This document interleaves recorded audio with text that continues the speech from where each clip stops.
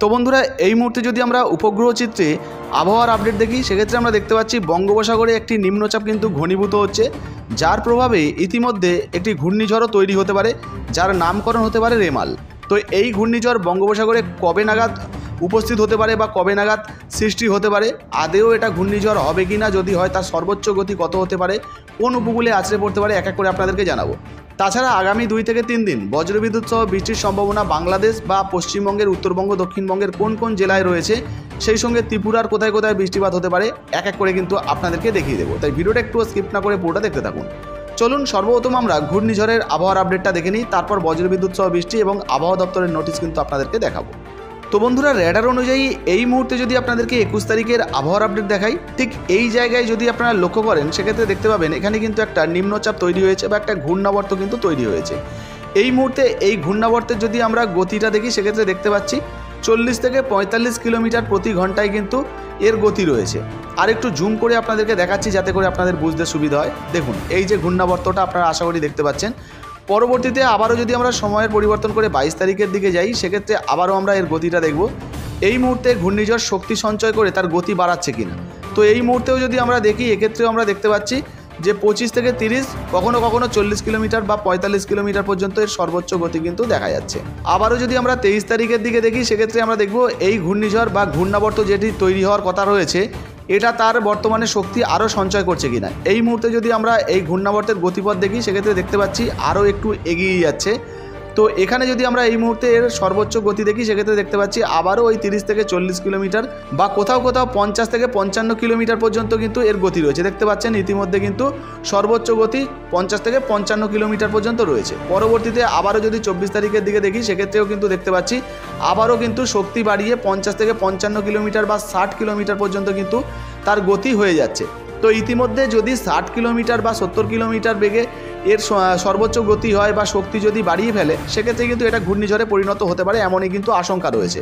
তবে এই মুহূর্তে দিল্লির মৌসুম ভবন থেকে এই ঘূর্ণিঝড়ের বিষয়ে তেমন কোনো আপডেট দেওয়া হয়নি বা পূর্বাভাস দেওয়া হয়নি। জানানো হয়েছে একটা ঘূর্ণাবর্তের সম্ভাবনা রয়েছে, তবে ইতিমধ্যে কোন উপকূলে আছড়ে পড়তে পারে বা এর গতিপথ কী হবে সঠিক, সেই তথ্য কিন্তু এখনও পর্যন্ত পাওয়া যায়নি। যখনই এই ঘূর্ণাবর্তের সর্বোচ্চ গতি বা এই ঘূর্ণাবর্তের যে গতিপথ, সেটা সরাসরি বাংলাদেশ বা পশ্চিমবঙ্গের দিকে আসবে কি না এর নতুন আপডেট চলে আসবে, সেটাও কিন্তু ভিডিওর মাধ্যমে আপনাদেরকে জানিয়ে দেবো। তো চলুন, এবারে আপনাদেরকে আবহাওয়ার আপডেট অনুযায়ী দেখিয়ে দিই। বর্তমানে উত্তরবঙ্গ বা দক্ষিণবঙ্গের কোন কোন জেলায় বৃষ্টিপাত হতে পারে, সেই সঙ্গে নোটিশ অনুযায়ী কোথায় কোথায় বৃষ্টির সম্ভাবনা রয়েছে। চলুন দেখে নেওয়া যাক।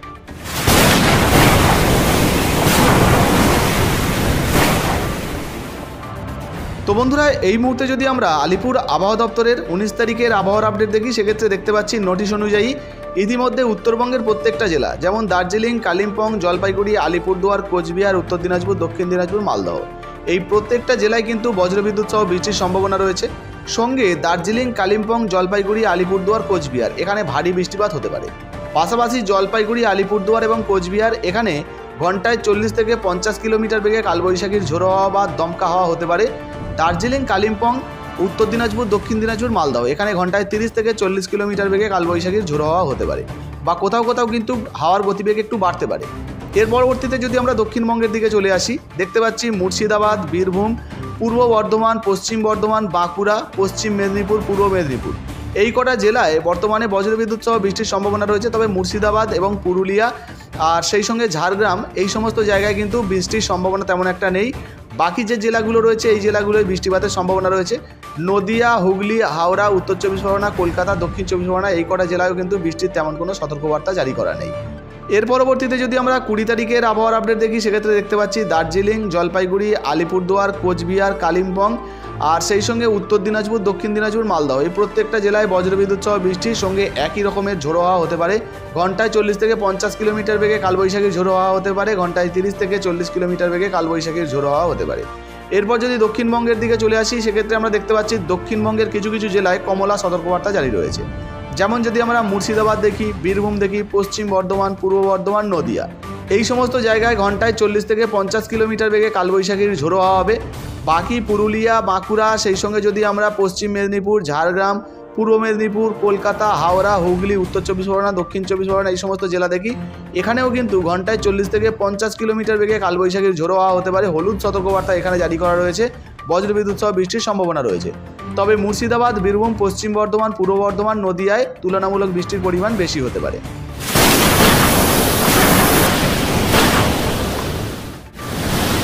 তো বন্ধুরা, এই মুহূর্তে যদি আমরা রেডার অনুযায়ী আজকে, অর্থাৎ উনিশ তারিখে সকালের আবহাওয়ার আপডেট দেখি, সেক্ষেত্রে আমরা দেখতে পাচ্ছি কলকাতা কলকাতা সহ কলকাতার পার্শ্ববর্তী যে সমস্ত জেলাগুলো রয়েছে, দক্ষিণবঙ্গের জেলাগুলো, এখানে কিন্তু এই মুহূর্তে বৃষ্টির তেমন কোনো সম্ভাবনা নেই বা বৃষ্টিপাত নেই। পাশাপাশি যদি আমরা উত্তরবঙ্গের দিকে যাই, দেখতে পাচ্ছি উত্তরবঙ্গেও কিন্তু মালদা, দিনাজপুর এখানে বৃষ্টির সম্ভাবনা নেই। তবে যদি আমরা একটু উপরের দিকে যাই, কোচবিহার, এখানে হালকা মাঝারি মেঘলা আকাশ থাকতে পারে। শিলিগুড়িতে বৃষ্টিপাত হওয়ার সম্ভাবনা রয়েছে, দার্জিলিং, কালিম্পংয়ে বৃষ্টিপাত হতে পারে। এই মুহূর্তে দশটার আপডেট অনুযায়ী আপনাদেরকে দেখাচ্ছি।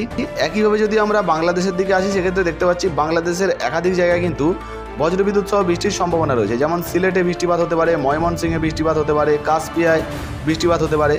সেই সঙ্গে ঢাকায় বৃষ্টিপাত হওয়ার সম্ভাবনা রয়েছে। কুমিল্লায়ও কিন্তু বজ্রবিদ্যুৎ সহ বৃষ্টির সঙ্গে কালবৈশাখীর ঝোড়ো হওয়া হতে পারে।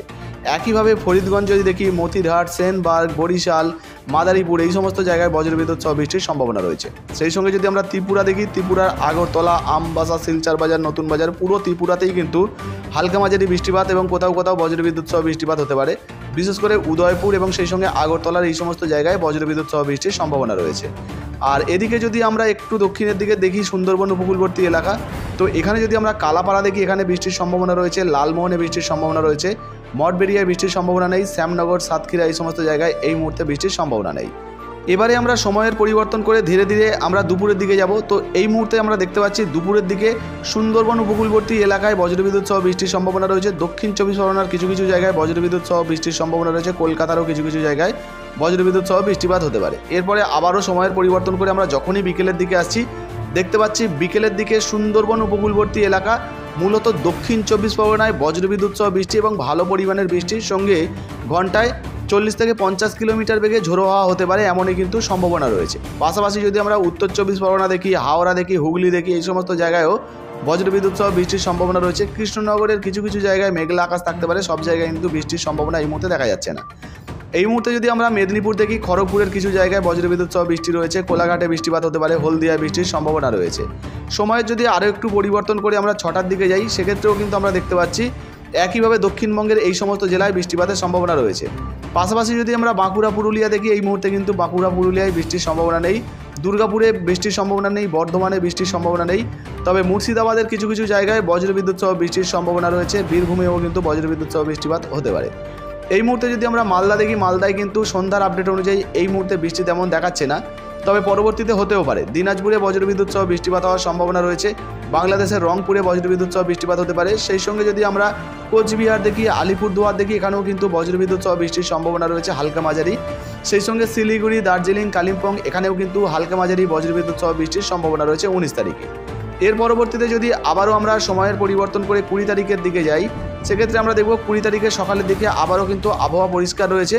তবে যদি আমরা বারোটার দিকে যাই, সেক্ষেত্রে কিন্তু আমরা দেখতে পাচ্ছি মেহেরপুর, রাজশাহী সিংরা এই সমস্ত জায়গায় সিরাজগঞ্জ, এখানে বজ্রবিদ্যুৎ সহ বৃষ্টিপাতের সম্ভাবনা রয়েছে।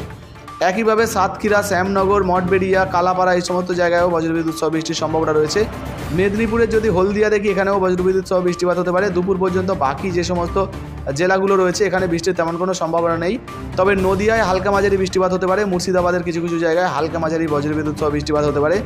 উত্তরবঙ্গে যদি মালদা দেখি, এখানে মেঘলা আকাশ থাকতে পারে।